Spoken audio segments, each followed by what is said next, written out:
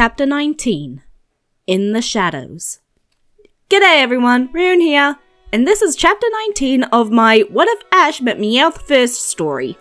If you're new to this series, click the link in the description below to be taken to the playlist. Now let's begin the next chapter. Upon arriving in Viridian, Ash, Misty, Meowth, and Pikachu all marvel at how it's been almost a full year since they were last here. They're also glad to see that the Pokemon Center has been completely repaired after the fight with Team Rocket all those months ago. Reminiscing on their adventure, the group make their way to the Viridian Gym, where Ash and Misty intend to get their final badge before facing off against Misty's sisters. As soon as they arrive at the doors, they are met by a familiar face, who's just as surprised to see them as they are to see him. Gary greets the group with a smile, asking if Ash and Misty are planning on taking on the Viridian Gym too. Ash confirms before asking why Gary is challenging the gym. Didn't Gary tell them that he already has enough badges to enter the league? Gary tells them that he does, but the gym leader of Viridian is said to be the toughest trainer in Kanto, second only to the Elite Four and the champion. There's no way Gary's passing up the chance for a challenge like that. He then asks how Misty and Ash's badges are going. He imagines that they're almost at the required number 2. Ash and Misty confirm, telling Gary that after they get Viridian's badge, they only need Cerulean. This causes Gary to blink in surprise and ask why they don't have that badge already. After all, they would have needed to go through Cerulean in order to get to the other gyms, and when he went through, the gym leaders there were pushovers. Ugh, don't remind me. Ash explains to Gary that he and Misty didn't challenge the gym on their way through because they have a personal score to settle there. At Gary's confused face, Ash assures him that they'll tell him some other time. For now, they have a gym to challenge. Walking up to the entrance, the three trainers issue their challenges, only to be told that only one trainer is allowed to even enter the gym at a time. Gary is about to argue when Ash puts a hand over his mouth. He tells the guards that they understand and will decide who gets to go first before pulling both Gary and Misty away from the door.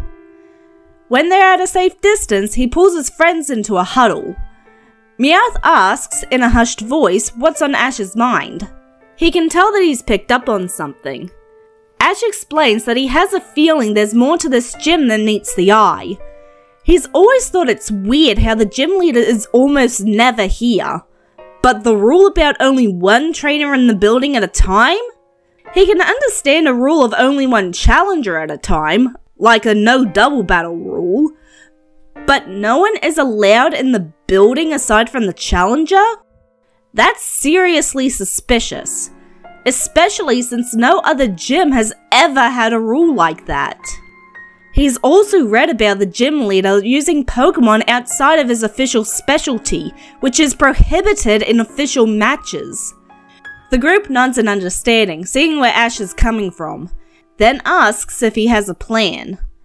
Closing his eyes in thought, he begins to lay out his thought process. The gym is bound to have some kind of back entrance, since no one has ever seen the leader entering or exiting via the front door. He also remembers reading several articles about gym leaders that list the Viridian gym leader as being a ground specialist, However, like he said, he's also read interviews from challengers saying that he's used non-ground Pokemon too, usually normal, dark, and water. They're going to need someone to take on the first challenge and act as a distraction, while the rest of them find a way to sneak in. If his hunch is right, and this guy is breaking the rules in order to keep his unbeatable reputation, then that's something they need to report. And for that, they need evidence. He turns to Misty. With the types that the gym leader has been reported to use, her Pokemon are the most likely to be able to buy them the time they need. He asks if she's okay with being their distraction and she nods, wanting to find out the truth just as much as him. If this guy is really cheating in official matches, it tarnishes the reputation of all gym leaders, including her, and she already has enough of that to deal with from her sisters. With a plan of action set, the group stand from their huddle and walk towards the entrance. There, Misty tells the guards that she'll be the first challenger. As she walks through the doors, Ash wishes her luck, while Brock says that they're going to get something to eat while they wait. As the doors close behind her and the boys walk away, Ash bites the inside of his cheek, hoping that Misty will be okay. Inside the gym, Misty enters the battle arena, heart pounding with anxiety. At the far end of the field, she sees a platform high above the field, where the gym leader sits, shrouded in shadows. Swallowing around the lump in her throat, she takes her place at the battlefield as the man introduces himself without giving his name. When asked who she is, she introduces herself as Misty, the fourth gym leader of Cerulean City. This causes the man to pause for a moment before he gives a chuckle, startling Misty with how friendly it sounds. Ah, that's right. I heard that the old gym leaders retired and left the gym to their daughters. Well, Miss Misty, let us make this match one worthy of two gym leaders.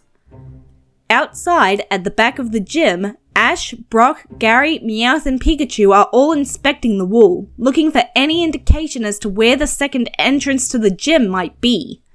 After searching for several minutes, they reconvene to try and think of a plan B. While the humans and older Pokemon try to think of something, Togepi waves his arms, excited to be on a secret spy mission with his family. Feeling the movement, Ash looks down to see Togepi waving his arms in a familiar pattern. Before he can even think to react, Togepi's arms glow blue, and the next thing the group knows, they're inside the gym, looking out one of the windows they could see from outside. That works too, I guess? He makes a mental note to start looking into starting some light training with Togepi so that he doesn't accidentally use Metronome Explosion before turning back to everyone. They don't know how much time they have left, so they need to move. With that, they all begin to race down the hall looking for anything that seems off. After a few moments, both Meowth and Pikachu pick up on a sound, which Meowth describes as a cry of distress. Following the two, Meowth and Pikachu lead the group to a locked door, which Meowth swiftly picks open. Stepping inside, they come face to face with a sight that is becoming far too familiar. Dozens of Pokemon locked in cages, each of the cages is branded with a red R. A horrible feeling of realization hits the group like a punch to the gut. The gym leader isn't just a cheat and a creep, he's a part of Team Rocket. Likely a high ranking member considering his status as a gym leader. They've just walked into a Team Rocket base with no immediately available exit. And to think, we thought this was just a case of cheating. Meanwhile, with Misty, her battle against Giovanni is going very differently than she was expecting. He's only sent out two Pokemon so far, and both of them were ground types. She guesses that, since he's facing a second generation gym leader, he's playing it safe and playing by the rules. She's glad that Giovanni decided to make the battle 5 on 5 because she's not sure how much time the boys need. She can only hope that she can keep this going long enough. Just as that thought runs through her mind, Wartortle knocks down Giovanni's Nidoking, bringing him down one more Pokemon. With that, the count of remaining Pokemon is brought to 2 Giovanni and 3 Misty. Misty sends a silent plea to the others to hurry before preparing for Giovanni's next Pokemon. Back with the boys, after calling the police, Gary and Brock are working on freeing the Pokemon that they found, while Ash, Meowth, and Pikachu search for any others. After a few minutes, they find a room completely filled with machines. On the far end is a plane of glass that goes from floor to ceiling. On the other side is a figure completely clad in what looks like metal armor. There are wires connected all over the armor, leading to the machines, which are spitting out numbers and words that Ash isn't even going to try to understand. Quickly moving into the room, Ash asks Meowth if he thinks they can get through the glass. Soothingly, Meowth tells him to hold his Rapidashes. If they just try breaking through the glass, they might end up damaging the equipment hooked up to the Pokemon. Looking at the machines, he tells Ash that he thinks he'll be able to shut the system down and open the glass through them. He just needs time. Ash asks him to hurry as they don't know how long Misty can keep Giovanni occupied. While Meowth works on hacking the machines, Ash turns to the unfamiliar Pokemon on the other side of the glass. Leaving Togepi with Pikachu, he walks up to the glass. Placing a hand on it, he tells the unknown Pokemon not to worry. They're going to get him out of there. Despite not being able to see the Pokemon's face, he can feel their eyes on him. Soon enough, Meowth gives a shout of triumph, and the glass wall begins to sink into the floor. At the same time, the wires detach from the armor. Ash walks up to the Pokemon slowly, taking care not to frighten them. The Pokemon doesn't move a muscle as Ash approaches. Once he's close enough, he reaches up toward the helmet, planning to take it off. Just before his hands graze the helmet, the Pokemon moves, slamming Ash into a nearby wall with the gauntleted hand at his neck. Meowth shouts in shock while Pikachu holds back a panicking Togepi. Hearing the commotion, Gary and Brock come running in with the Pokemon that they've freed.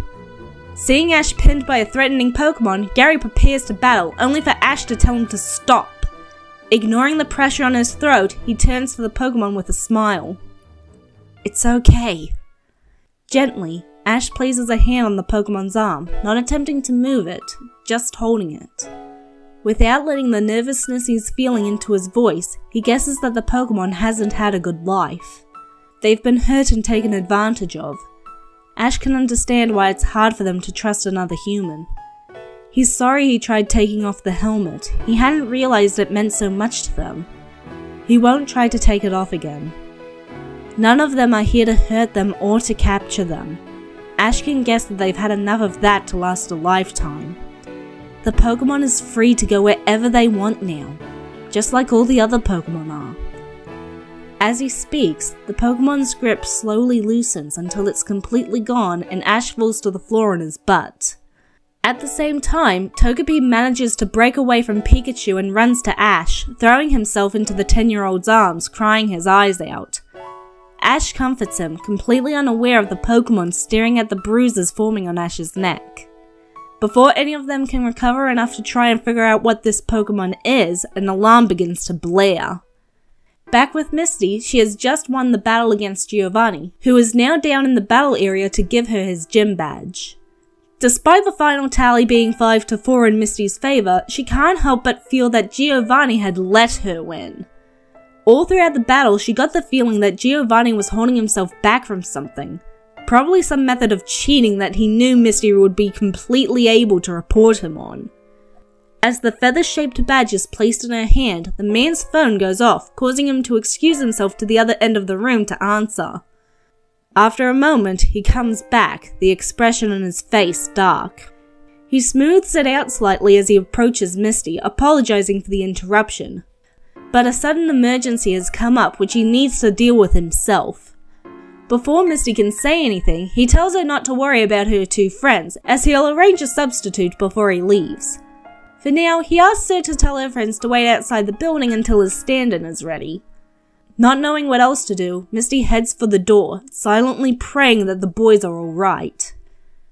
Back over with the boys, they are all looking around in panic, trying to figure out how they're going to get out of the building before any Team Rocket members show up.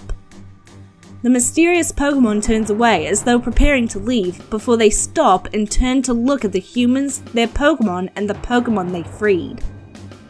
After a moment of contemplation, they raise a hand towards them, their eyes glowing blue under the visor of their helmet. In seconds, the humans and their Pokemon are gone. Then, they turn to the Pokemon that the group had freed and repeat the same motion. In a few seconds, the mysterious Pokemon and the Pokemon that had once been held captive are gone. Just as everyone is gone, a woman with dark purple hair, wearing a prim magenta business suit, comes bursting into the room to find nothing. Eyes wide, she calls over her shoulder to get the boss on the phone. Now! As soon as Misty exits the gym, the first thing she sees are the boys standing there, looking around in confusion. Relieved to see them all okay, she runs to them, calling their names. The boys turn to her with smiles of their own, just as happy to see her in one piece as she is to see them. As she reaches them, she immediately asks what happened before noticing the bruises on Ash's neck. Ash waves her off gently, telling her it's not as bad as it looks, before telling her that the gym leader isn't just a con artist, he's a high ranking member of Team Rocket. He explains that they've called the cops, but due to an incident outside of town, they're not going to get here for a while. They need to keep the gym leader here until they arrive. Before Misty can tell them that Giovanni has already left, the guards from before approach them. They tell the group that due to extenuating circumstances, the one trainer at a time rule has been temporarily lifted. They tell the group to follow them if they wish to take on the gym.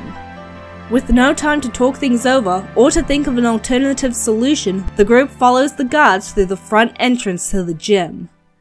And that, everyone, is where I'm going to end the story for now.